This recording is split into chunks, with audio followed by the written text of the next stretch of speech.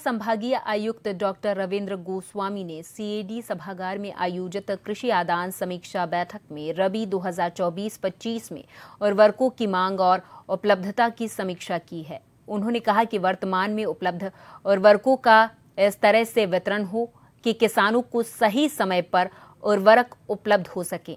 उन्होंने कहा कि जहाँ डीएपी की कमी है, वहीं किसानों को डीएपी के स्थान पर एसएसपी और यूरिया का प्रयोग करने के लिए प्रोत्साहित करें। उन्होंने उर्वरकों को कालाबाजारी रोकने और सीमावर्ती राज्यों के किसानों को उर्वरक बेचने पर सख्त निगरानी रखने के निर्देश दिए हैं।